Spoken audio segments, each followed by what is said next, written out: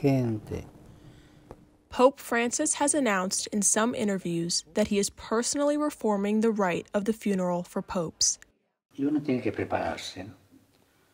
Estuve con el ceremoniero preparando el rito de, de los funerales del Papa, lo simplificamos bastante.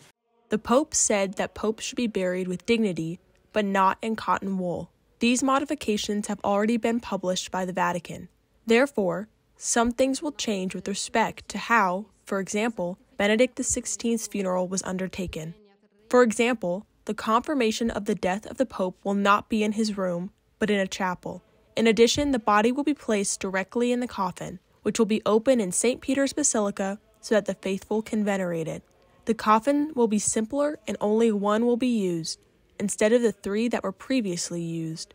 The master of liturgical celebrations, Diego Ravelli, pointed out that, with these modifications, the figure of the Pope is intended to be enhanced as a pastor and not as a ruler.